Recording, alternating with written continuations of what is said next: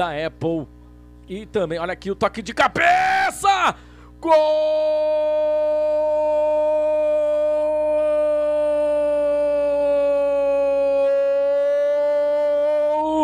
Marcelo Hermes! Gol do Criciúma!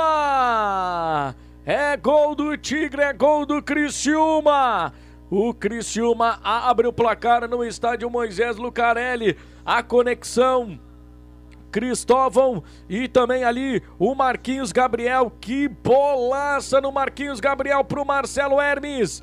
E aí o Marcelo Hermes observou onde é que estava o goleiro Kaique. E uma cabeçada sutil